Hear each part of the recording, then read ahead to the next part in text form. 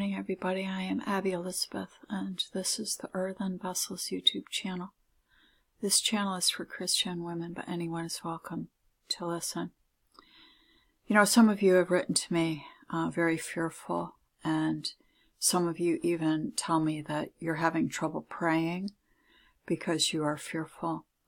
And, you know, when I sought the Lord about this, um, what was revealed to me is that people fall into condemnation because the enemy has accused them and they think that um, they're unworthy to pray. So some of you write to me and ask me to pray for you because you feel that you can't pray yourself. And so you want someone else to pray for you. And, and when I asked the Lord about this, it was shown unto me that it's because you feel unworthy to seek the Lord yourself. You feel condemned. Now, of course, I'm happy to pray for you, but that's really not the answer. The answer is for you to see where you're making the mistake here.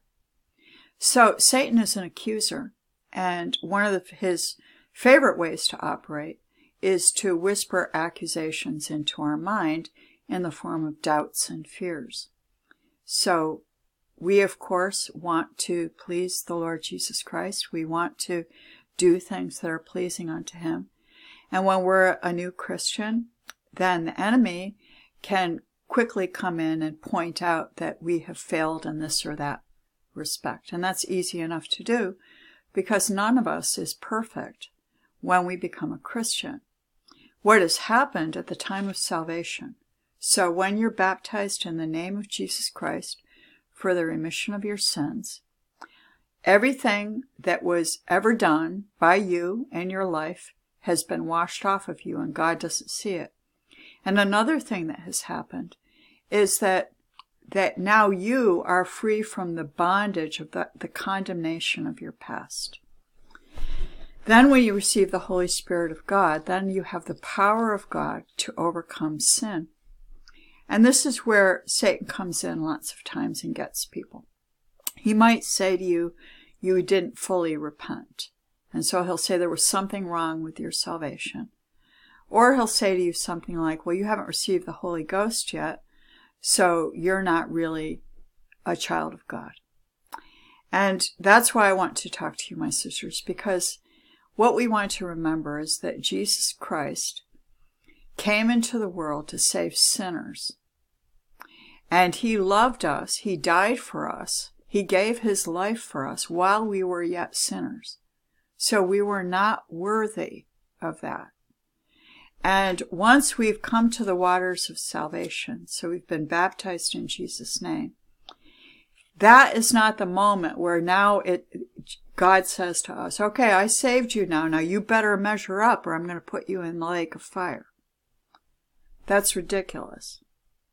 And a lot of us fall into that. And the reason why we fall into that is we're not, we're not familiar enough with the mercy of God. Okay. So we want to understand who God is according to his word and not according to our fears. So we don't let our emotions define for us how God is going to treat us. Rather, we look into the word of God and believe what he says. Now, I'm going to tell you, I'm going to give you a little picture of something. We have a young wife.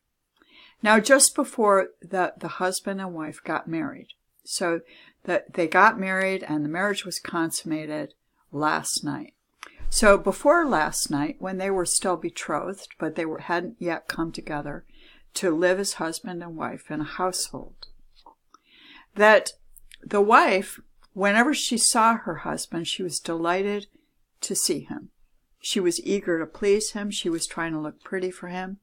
She was completely enthralled by anything he said. And she was also eager to confide in him everything that she was concerned about, everything that were her hopes and dreams. Now, after the weddings, this is something that can sometimes happen, and I'm using this as an illustration of the fearful young Christian who is afraid to pray. Okay? So now the young wife, uh, the marriage has been consummated. Her husband has gone off to work, and, and she's in the house now for the first day. She wants to please him. She's never run a household before. She really doesn't know how to cook. And this is true of most women in the West. So I'm sure many of you can identify. But she wants to please her husband. So she thinks, okay, what I'm going to do is I'm going to do, um, I'm going to wash all the crystal. I'm going to polish all, all the furniture. I'm going to uh, wash all of his shirts and iron them. And I'm going to make his favorite meal that I've never made before, which is lasagna, which is a very big project for those of you who have made it. It's not an easy meal to make. But the young woman doesn't know this. And so she sets about to do these things and she gets uh, tangled up and bogged down very quickly. Uh, she's inexperienced with these things and, and she doesn't really know how to do them. And what happens then is that her husband arrives home from work and there's a pile of shirts, his shirts on, on the ironing board that are just all rumpled up and wrinkled. Um, there's a whole bunch of, uh, things out and, and it, there's a mess that wasn't there before he, he left for work. And there's a faint odor of burning pasta in the air. And he walks in and he sees his wife and she realizes that she lost track of time and that her husband is home and she thinks she's going to displease him. So she looks at him with terror, bursts into tears, runs into the bedroom, slams the door, and refuses to come out. Now, this might be something that would be um, remedied um, if the woman, this young wife, were willing to be comforted by her husband. But some young wives in this condition are still trying to be perfect. So say the husband gets her to come out of the bedroom. She tell, cries and tells him what went wrong. He says, let's just go out to eat tonight, honey. It's okay. And he brings her to a restaurant. But the whole time they're in the restaurant, she's like, I can't believe I was that stupid. You must really hate me. I, am not a good wife. And, and you can't possibly love a woman like me. So even though he brought her out to dinner, she's not pleased by it. She doesn't recognize his graciousness. And then the next day she kind of does the same thing. And so the husband becomes frustrated because he can't really comfort his wife. And the wife is feeling more and more inadequate. And then what happens is she starts to think in her mind, well, he's going to get a girlfriend because I'm obviously just no good. She starts to say that to him. So he comes home. Maybe he's a little bit late because he knows probably there isn't going to be dinner. And, so he got something to eat on the way home. And he comes in and she says to him, I know you have a girlfriend because I'm just not pleasing you. So she starts to accuse her husband. Is this loving? Is this the way a loving woman treats her husband? Well, no, of course not. The way for this whole thing to be remedied would be for that young woman to say to her husband, I really want to please you, and I just don't know how. I'm not a terribly good cook. I've never managed a household before.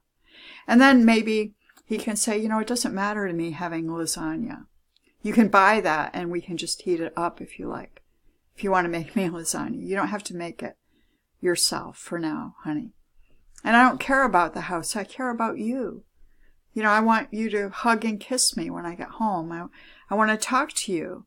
I married you because I love you, not because I want my house a certain way. It would be nice to have the house orderly, but, you know, I love you, honey. You see, if a woman were to break open her heart before her husband and confide that she knows she's not perfect and let him care for her and be patient with her and guide her in those things, then verily the marriage will be happy. The reason I told you this is because when we read in Ephesians, so let's go to Ephesians chapter 5, and let's read how it is that the church's relationship with Jesus Christ is like a marriage. Let's begin in verse 24. Therefore, as the church is subject unto Christ, so let the wives be to their own husbands in everything. So, when we're considering our relationship to Jesus Christ, it's like a bride unto her husband. So we want to also relate to Jesus Christ in a loving way, which isn't to go hide in the darkness because we think we're not perfect. And those of you who, who are falling into thinking that you're not good enough to pray have fallen into a snare of the devil.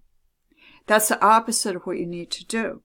Rather, you need to seek the Lord when you feel inadequate, when you feel you've made mistakes. Because the scripture says that a broken and a contrite heart he will not despise. So when we feel inadequate, when we feel unworthy, when we feel like we don't know what to do, we don't go and hide in the darkness and try to get ourselves cleaned up. Let's read of this. In verse 25, Husbands, love your wives, even as Christ also loved the church and gave himself for it. So while we were yet sinners, Christ died for us. So he knew we weren't perfect. And that's not what he's looking for. He's looking for a bride that loves him. And how do we show our love? By being in relationship with him and trusting him. So let's read on. Christ also loved the church and gave himself for it, that he might sanctify and cleanse it with the washing of water by the word. So the way that we become righteous isn't by trying to be perfect of our own strength and then present our perfection unto the Lord. Rather, it's to be in relationship to Him and let Him, that He might sanctify and cleanse it with the washing of water by the word, that he might present it to himself a glorious church, not having spot or wrinkle or any such thing, but that it should be holy and without blemish. So many of you, my sisters, are trying to be holy and without blemish so that you can be in relationship. But you've got it backwards. The only way to be holy and without blemish is to be in relationship. And that is to, yes, dwell in the Word, to read the Word. But it's not just to dwell in the Word, you have to be in prayer. The reason why is if we're reading the Word of God so that we can understand it in order to be righteous, that is like someone who is hiding in the darkness, trying to make themselves righteous in order to present themselves. You see? So that is the woman who's home all day trying to cook the perfect meal and have the house be perfect. She's trying to do that of her own strength rather than having her perfection be in that she's in loving submission unto her husband and letting him show her what is pleasing unto him. Let him guide her. Let him comfort her. Let him teach her. You see, it's about relationship. So when we want to be pleasing to the Lord, we realize that our righteousness is not of ourselves. So let's go to Romans chapter 10. And let's read in verse 3. For they, being ignorant of God's righteousness, and going about to establish their own righteousness, have not submitted themselves unto the righteousness of God. Now, this is a specific reference to how the Jewish people try to make themselves righteous by the law. And people who try to make themselves righteous become hypocrites. They either fall into condemnation or they become hypocrites, one or the other. And neither one is good. So falling into condemnation is to fall into fear. And to become a religious hypocrite is to think yourself to be righteous and to be full of pride. And neither one of these things is pleasing unto the Lord. Rather, we want to have the righteousness of God which comes by faith, which we can read in verse 10. For with the heart man believeth unto righteousness, and with the mouth confession is made unto salvation. So with the heart man believeth unto righteousness. So what is it that we believe in as a Christian? We believe that God is merciful, that he's kind, that he sent his only begotten Son to die for us because we couldn't save ourselves, that he wants to, us to confide in him, that he promises us that, that he wants us to, to trust him, and that if we do, he, he will show us the way. This is written throughout the scripture, but let's go in particular to Proverbs chapter 3. And let's read one place where this was written in Proverbs 3.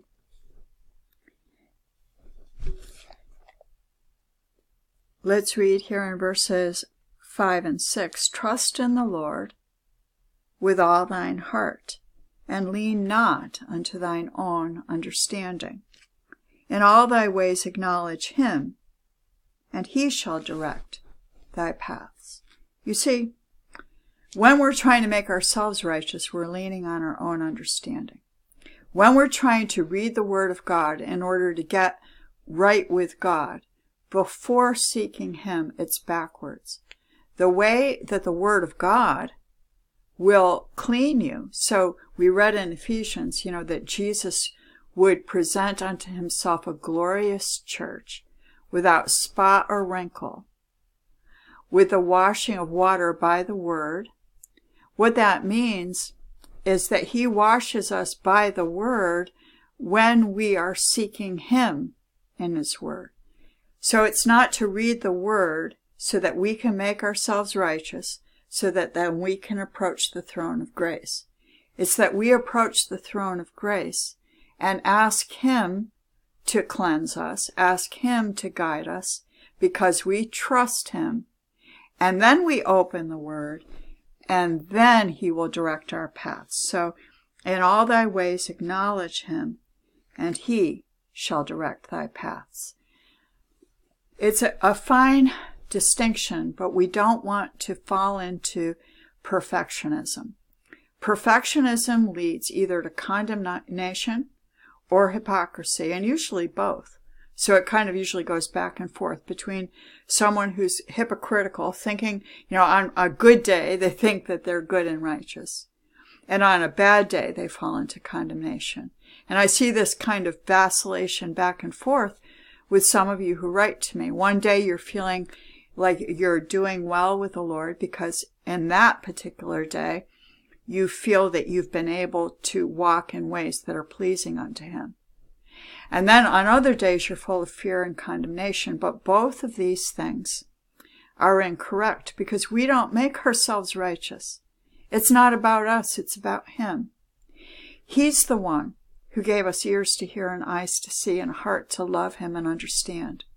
And what He wants from us is our relationship with Him, like a wife who loves her husband. So again, let's go back to the bride. The bride who, on her first day home, and her husband's gone to work, that she spends the day thinking, what can I do to please him? Well, I don't really know how to make lasagna, but I know a good restaurant where I could buy some. So I'll go down and buy some. And then I'll make the table pretty and I'll put some candles there and we'll have a candlelight dinner. And the husband comes home and his wife is eager to see him because she's been alone all day and just eager to see him. And, and she throws her arms around him and says, Oh, honey, I'm so glad to see you. There's lasagna. You want some lasagna? And she's interested in what he has to say. And she tells him that, you know, that she was a little worried about buying it, you know, from a store and not making it. Is that okay? She confides in him her heart. He's going to just love and appreciate that bride. And God is the same way. He's looking on our heart. He's looking on our intentions. He's looking on, do we love him? Or are we relying on our own understanding? Are we trusting him? Or are we trying to make ourselves righteous? Because when we try to make ourselves righteous, we either end up being self righteously hypocritical and speaking to God in this manner, saying, Well, you know, I worked hard all day to make lasagna for you, and it's, you know, don't you appreciate me? So we become that way, or we become, You must hate me because I can't make lasagna. You see, both of these are wrong. So we don't want to be either one of these things. We want to seek God and trust Him, knowing that He loves us.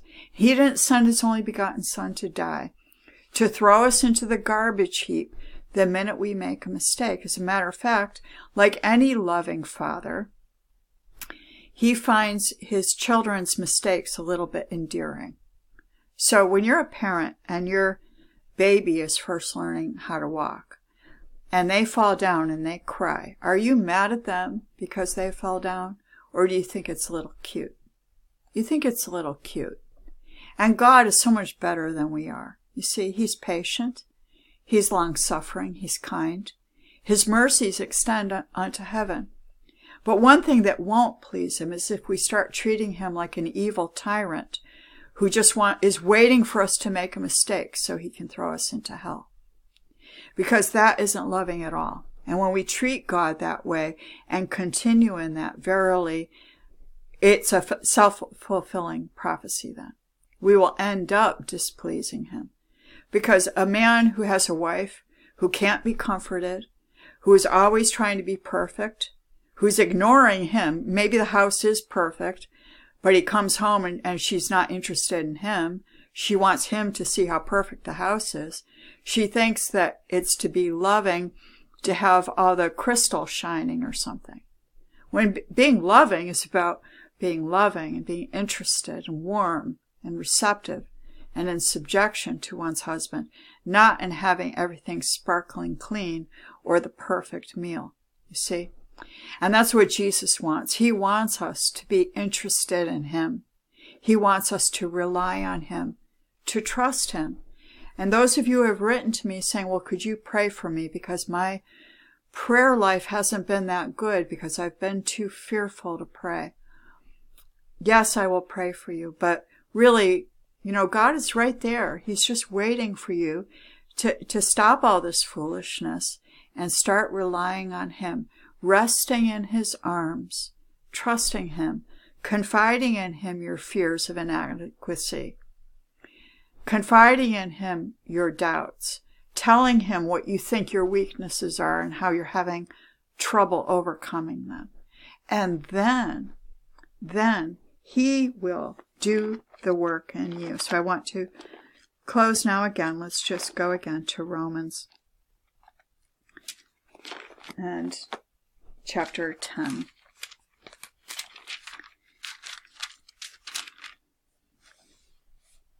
Let's read in verse 10 For with the heart man believeth unto righteousness.